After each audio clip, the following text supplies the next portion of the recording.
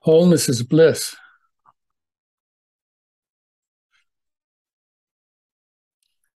And it's been bliss for a while.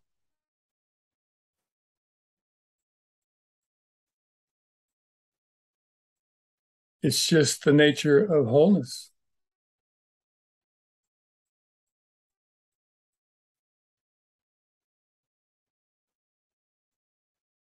This is wholeness.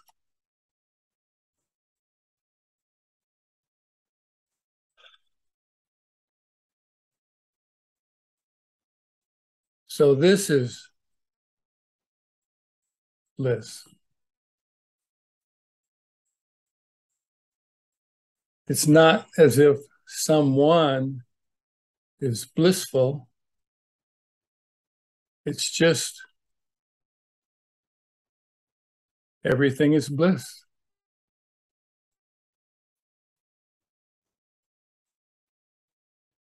Bliss being that inexpressible, not understandable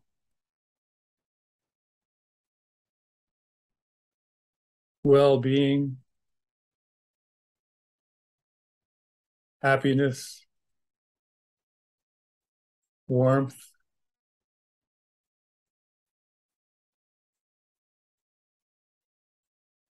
And even more.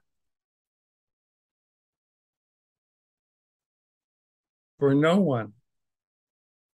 It just is.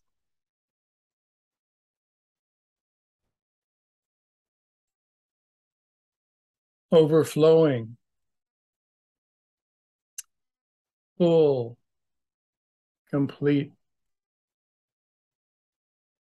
indescribable goodness.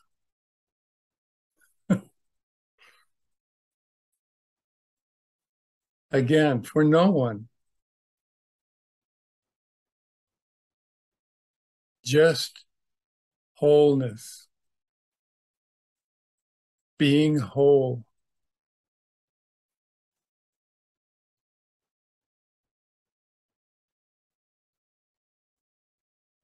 And overflowing with wholeness, exploding with wholeness,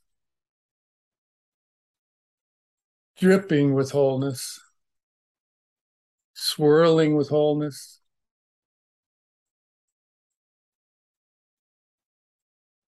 You name it, it's wholeness.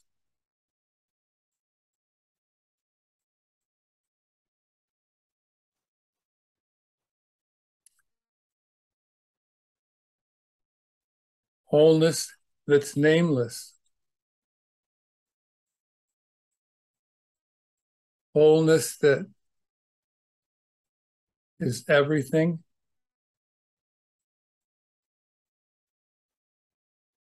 in its infiniteness.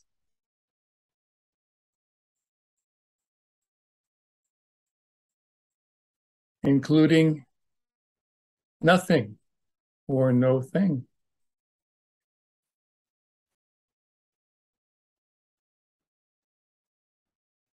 It's unreachable by the one who reaches. It's endlessly desirable by the one who desires.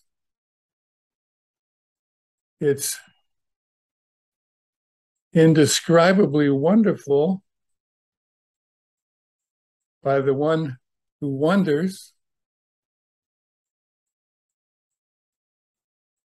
And that one that is no thing or no one that illusion that totally believes it's a separate being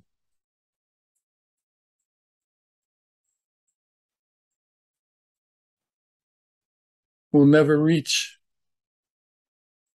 what it desires, will never experience wholeness. is incapable of being wholeness. So it must be nothing. It must be an illusion.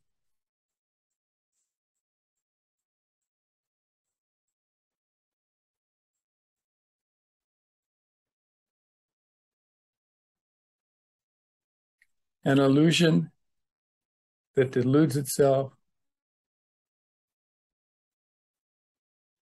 into thinking it's a it's reality into thinking it's something. And in that delusion it misses everything by trying to be something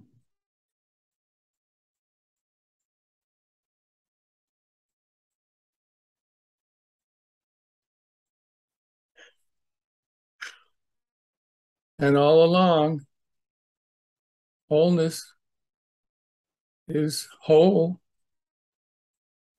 without beginning, without ending.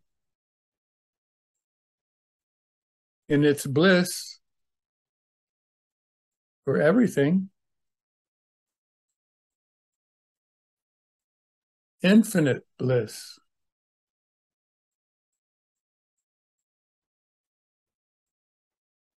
for no one.